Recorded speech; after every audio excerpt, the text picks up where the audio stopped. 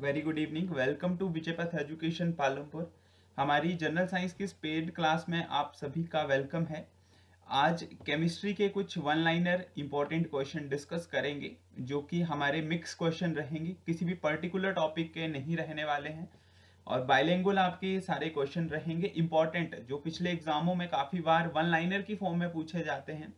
To the point जिनका answer होता है उन क्वेश्चंस को हम अब डिस्कस करने जा रहे हैं। सो so, मिनिमम आपके 50 टू 60 क्वेश्चन आज हम कवर करेंगे इससे ज़्यादा भी आपके हो सकते हैं तो इसके आप साथ साथ में नोट्स आप ज़रूर बना लीजिएगा। कुछ क्वेश्चंस हमने क्लासेस में भी डिस्कस कर लिए थे और अब हम मिक्स क्वेश्चन को जो है वो डिस्कस करने जा रहे हैं। सो so, सबसे पहला क्वेश्चन है आपका graphite is use lubricant in heavy machine graphite जो होता है जो पेंसिल का सिक्का होता है जो ग्रेफाइट है उसका यूज़ किया जाता है मशीनों में स्नेहक के रूप में एज ए लुब्रिकेंट जो है वो मशीनों में उसका यूज़ किया जाता है। Next aspirin is obtain from latex tree aspirin जो होती है, वो लेटेक्स नामक एक ट्री होता है, एक पेड़ है, उससे प्राप्त की जाती है। Next one iconic compound conduct electricity when dissolve in water and they are soluble in water and also called crystalline solid तो जो आयनिक कंपाउंड होते हैं, आयनिक यौगिक जो होते हैं, वो पानी में घुलने पर वो क्या करते हैं इलेक्ट्रिसिटी को कंडक्ट कर लेते हैं। क्योंकि आइंस की वजह से उसमें इलेक्ट्रिसिटी का फ्लो हो जाता है और ये पानी में फिर घुल जाने के बाद इसको क्रिस्टली ठोस भी कहा जाता है क्रिस्टलाइन सॉलिड भी इसको कहा जाता है। Next one father of modern chemistry ये करवाया हुआ क्वेश्चन है, आधुनिक रसायन विज्ञान के जो जनक हैं, वो लेवोसियर को जाना जाता है, जिनके द्वारा ऑक्सीजन की जो है वो खोज की गई थी। Next one cathode ray consist beam of electron जो कैथोड रे होती है, उसमें किस चीज़ की, वो किस चीज़ का एक बीम है? इलेक्ट्रॉन का प्रोटॉन या न्यूट्रॉन का तो जो कैथोड रे है, वो कंसिस्ट करती है इलेक्ट्रॉन को। इलेक्ट्रॉन्स की किरण को कैथोड रे कहा जाता है। अगला प्रश्न है nucleus of an atom consist of जो न्यूक्लियस होता है, उसके अंदर क्या चीज़ होती है, आपको बताया है, पहले भी जो न्यूक्लियस है नाभिक है जो परमाणु का, उसके अंदर जो है वो न्यूट्रॉन होते हैं और साथ में जो है वो प्रोटॉन होता है और उसको बाहर जो है वो इलेक्ट्रॉन के एल एम एन शेल में रिवॉल्व करते रहते हैं। तो proton and neutron. Proton was discovered by Rutherford proton की खोज जो है वो रदरफोर्ड ने की। कई बार रदरफोर्ड ऑप्शन में ना होके गोल्ड स्टिन होता है तो आप उसको भी टिक कर सकते हैं। कोई एक ही ऑप्शन वहाँ पे आपके लिए होगा। प्रोटॉन की डिस्कवरी जो है वो रदरफोर्ड के द्वारा की गई। लेकिन कई बार क्वेश्चन में रदरफोर्ड ऑप्शन में नहीं होता गोल्ड स्टिन होता तो आप गोल्ड स्टिन को भी टिक कर सकते हो। Next one is swimmer find it easier to swim in sea water than plain water तो किस कारण होता है कि एक जो तैराक है, जो पानी में, जो समुद्री पानी होता है, उसमें आसानी से तैर सकता है as compare to simple water तो ऐसा इसलिए होता है क्योंकि जो समुद्र का पानी है, वो खारा होता है और उसका घनत्व जो है वो ज़्यादा होता है, उसकी डेंसिटी ज़्यादा होती है, इस वजह से हमारी बॉडी जो है वो फ्लोट कर जाती है उस पानी में। Next one an electric iron has heating element made of nichrome जो घर में प्रेस होता है, जिससे कपड़ों को हम प्रेस करते हैं, विद्युत स्त्री उसको कहा जाता है इलेक्ट्रिक आयरन तो उसके अंदर जो एलिमेंट डाला होता है, वो होता है नाइक्रोम नाइक्रोम का एलिमेंट होता है उसमें। जिससे वो हीटिंग इफ़ेक्ट शो करता है। नाइक्रोम का यूज़ जो है वो इलेक्ट्रिक रोड में भी किया जाता है, जिससे हम पानी गर्म करते हैं। और हीटर्स में भी नाइक्रोम का यूज़ किया जाता है। और उसके साथ साथ जो इलेक्ट्रिक बल्ब है, उसमें जो है वो टंगस्टन का यूज़ किया जाता है। यह आप ध्यान रखेंगे हीटिंग एलिमेंट है, इनका मोस्टली यूज़ किया जाता है। Next one heaviest naturally occurring element of periodic table is uranium आवर्त सारणी का प्राकृतिक रूप से पाया जाने वाला सबसे भारी तत्व कौन सा है?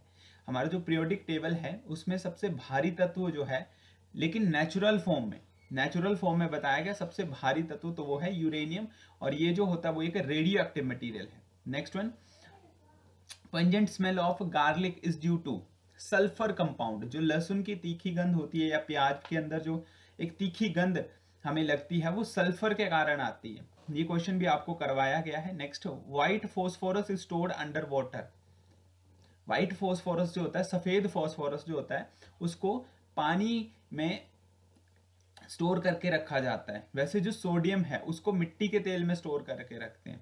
कैरोसिन ऑयल में उसको रखा जाता है। तो वैसे जो व्हाइट फॉस्फोरस है, उसको पानी के अंदर रखा जाता है ताकि वो जल्दी रिएक्ट ना कर सके। Next one mercury is also known as quicksilver mercury यानी कि जो पारा है, उसको क्विक सिल्वर के नाम से भी जाना जाता है। ये इसका निक नेम है। क्विक सिल्वर वो जो है, वो मरकरी से हम जानते हैं। Next one red phosphorus present at the tip of matchstick जो रेड फास्फोरस होता है, उसका यूज़ किया जाता है माचिस की तीली में। हम माचिस की तीली को जब जलाते हैं तो उसके आगे एक रेड कलर का, एक पाउडर की फॉर्म में, एक लेप जो है, वो उसमें लगाया जाता है। तो वो जो स्टिक है, उसमें वो जो रेड कलर का होता है या ब्राउन कलर का जिससे वो आग जलती है तो वो रेड फॉस्फोरस होता है। उसकी वजह से वो आग जो है वो जलती है। Next one magnesium burn with dazzling white flame जो मैग्नीशियम होता है, वो चमकदार, सफ़ेद रोशनी के साथ जो है वो जलता है। ये कई बार क्वेश्चन आपके लिए पूछा जाता है, कौन सी रोशनी जो है वो शो करता है।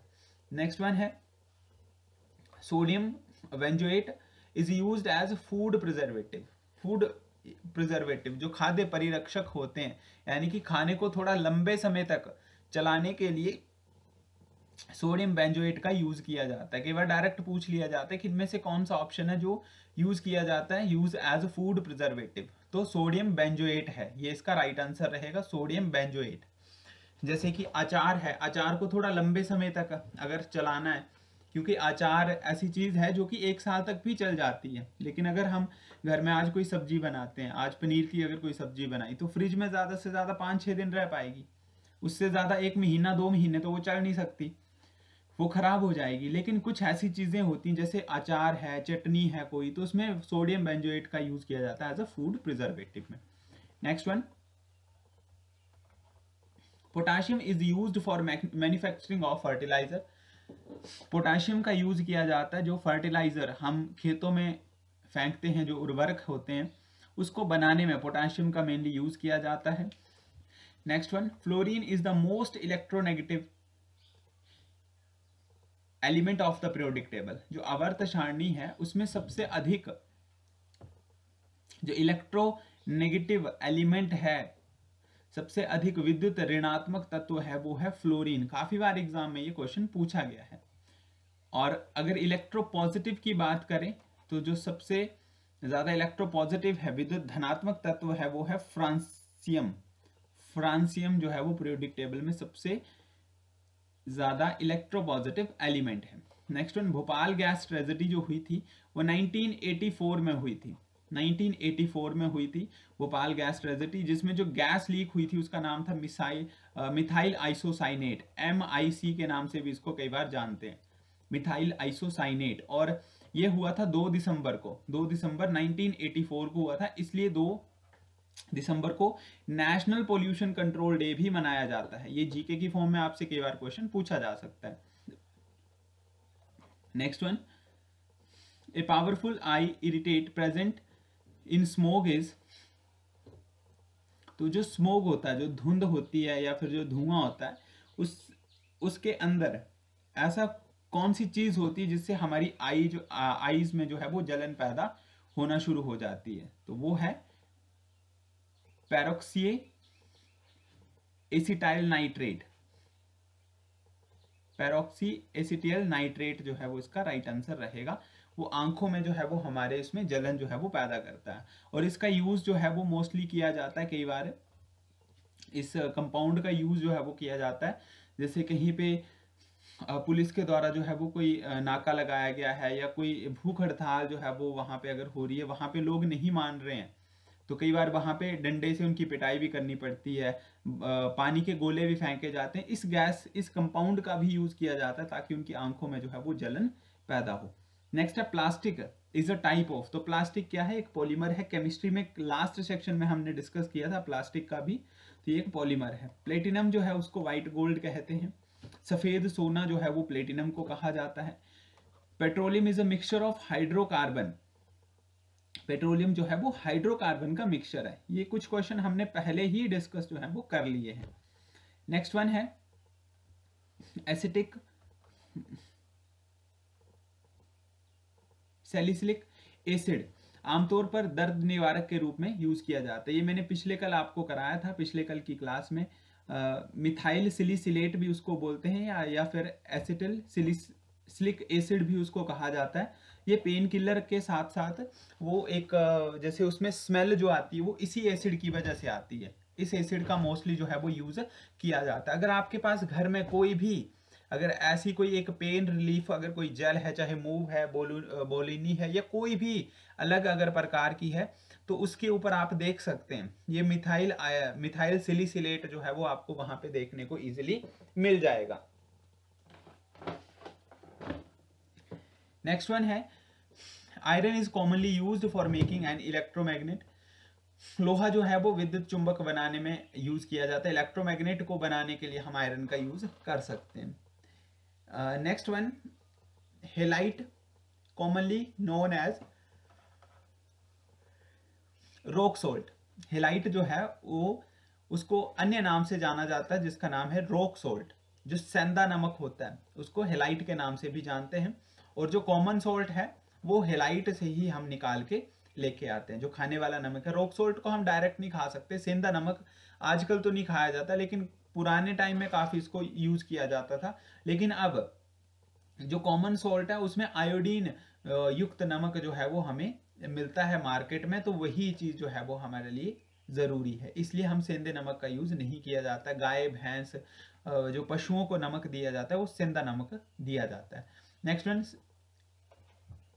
जेनोन जो है, उसको स्ट्रेंजर गैस भी कहा जाता है। जेनोन जो है, उसको स्ट्रेंजर गैस भी कहते हैं। Rayon is also known as artificial silk rayon जो है, उसको कृत्रिम रेशम के रूप में भी जाना जाता है। नेक्स्ट वन है बुलेट प्रूफ स्क्रीन जो होती है बुलेट प्रूफ स्क्रीन वो किस चीज़ की बनाई जाती है? तो रेनफोर्ड ग्लास है, एक टाइप है ग्लास का रेनफोर्ड ग्लास उसका यूज़ किया जाता है बुलेट प्रूफ स्क्रीन को बनाने के लिए। जैसे कि कोई एक सभा हो रही है तो आ, मान के चलते हैं वहाँ पे भारत के प्रधानमंत्री जो है वो स्पीच देने जो है वो आए हैं। लेकिन कई बार क्या होता है कि कोई ऐसा एरिया वहाँ पे आ, होता है जो कि काफ़ी ज़्यादा एक्टिव हो। जैसे दिल्ली है तो 26 जनवरी के दिन काफ़ी पुलिस फोर्स जो है वो वहाँ पे लगाई जाती है ताकि कोई खतरा ना हो। अब मान के चलते हैं कि पीएम जो हमारे नरेंद्र मोदी हैं उनको जो है वो एक भाषण देना है। तो जहाँ की वो कमेटी है जहाँ पे वो भाषण देंगे। उनके आसपास एक शीशे का जो है वो चारों तरफ़ एक कमरा जैसे बना देंगे और यहाँ से माइक वो लगा देंगे और वो माइक जो है वो पूरा बाहर उनको फिर सुनाई देगा। प्रोटेक्शन के लिए। वो जो ग्लास लगाया जाता है वो रेनफोर्ड ग्लास है। बुलेट प्रूफ स्क्रीनिंग में यूज़ किया जाता है। Next one when quicklime is added to water heat is liberated जब पानी में बिना बुझा हुआ चूना मिलाया जाता है, जिसको क्विक लाइम कहते हैं तो वो जो है वो गर्मी हीट जो है वो बाहर छोड़ देता है। नेक्स्ट नेल रिमूवर जो होते हैं, जो नेल पॉलिश रिमूवर जो होते हैं, वो एसीटोन होता है उसमें एसीटोन डालते हैं हम उसमें।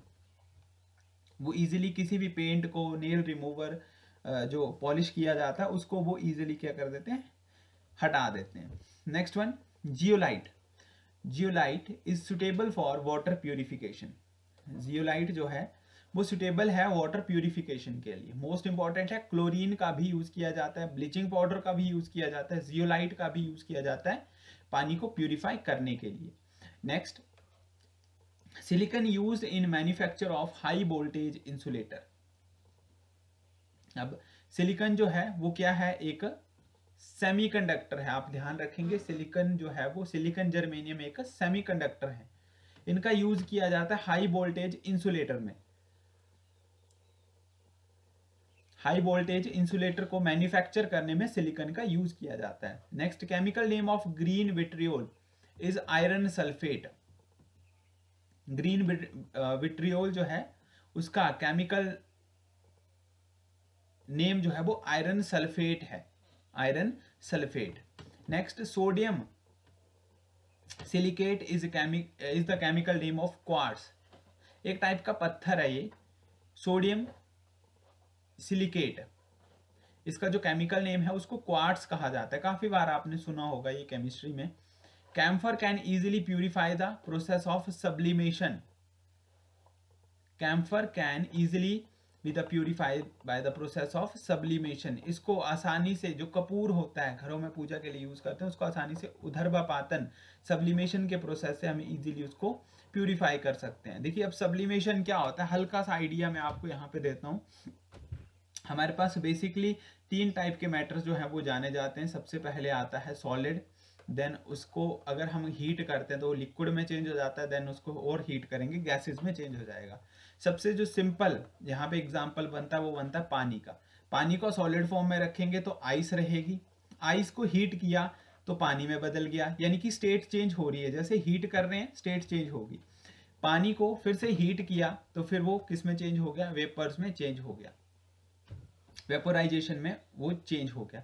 अब हमें यहाँ से ये पता चला कि जब भी हम मैटर को हीट कर रहे हैं, अगर उसको हम क्या कर देते जा रहे हैं हीट एनर्जी अगर उसको देते जा रहे हैं तो वो अपनी स्टेट को क्या करता है चेंज कर लेता है।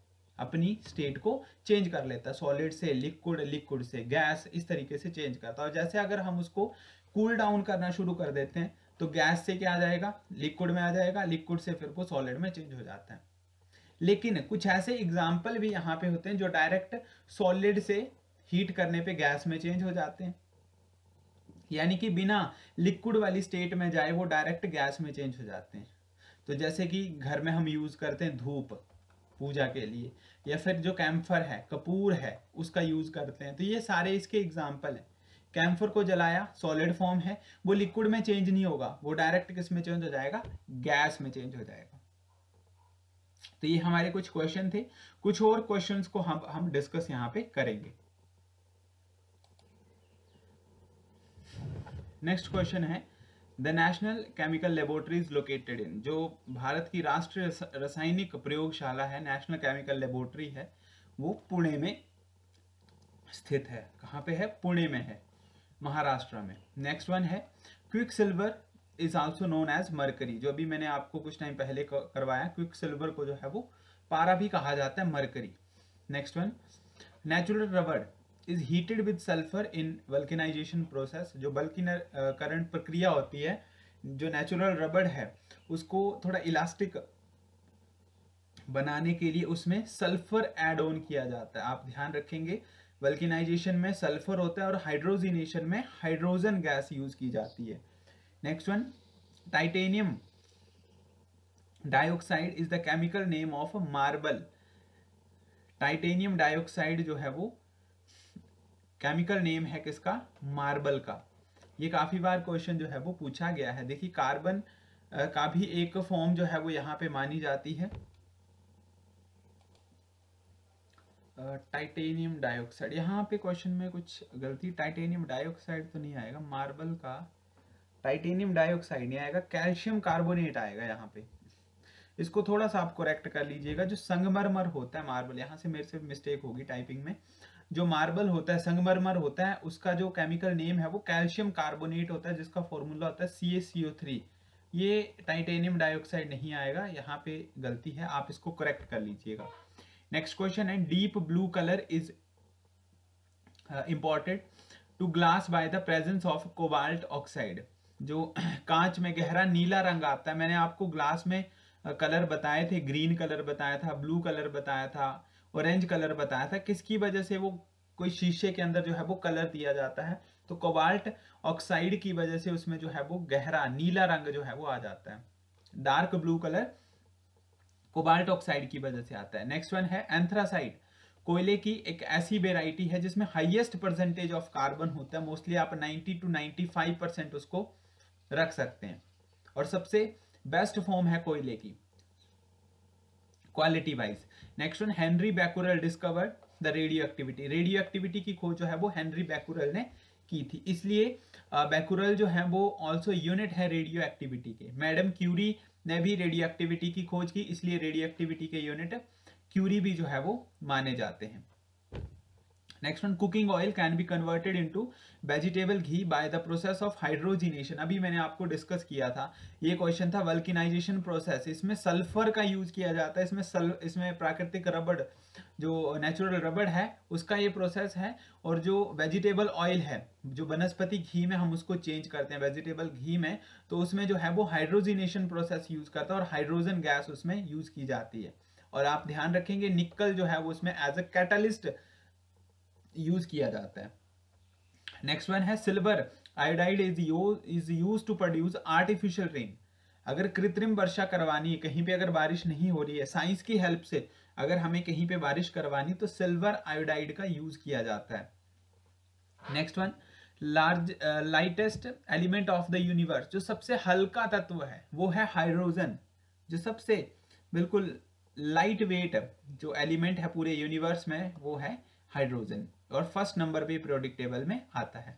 जर्मेनियम एंड सिलिकन जो है वो मोस्ट कॉमन एग्जांपल है किसके सेमीकंडक्टर के अभी मैंने आपको बताया भी था।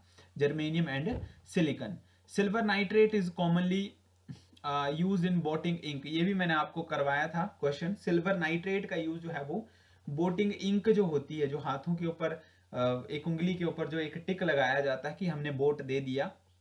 सिल्वर नाइट्रेट का यूज़ किया जाता है। और भारत में जो सबसे पहली बार इसका यूज़ किया था 1962 में किया गया था, मैसूर में। ये आप ध्यान रखेंगे। Next hydrogen is the lowest density element and osmium is the highest density element hydrogen जो है, वो सबसे कम घनत्व वाला तत्व है, इसलिए वो क्या कर जाता है? ऊपर फ्लोट कर जाता है। सबसे हल्का है और जिसकी डेंसिटी ज़्यादा होगी वो सबसे भारी है ओस्मियम जो है वो सबसे भारी है। लेकिन अगर नेचुरल की बात करें तो जो सबसे भारी है वो है यूरेनियम नेक्स्ट सिल्वर ब्रोमाइड जो है उसका यूज़ किया जाता है फोटोग्राफी में एज ए केमिकल की फॉर्म में। अब तो उसमें यूज़ नहीं किया जाता फोटोग्राफी में, लेकिन जब प्रिंट किया जाता है फोटोग्राफी में, आपको पता होगा पहले के टाइम में उस फ़ोटो को धोना पड़ता था, फिर एक ब्लैक कलर की उसमें से फ़िल्म निकाली जाती थी।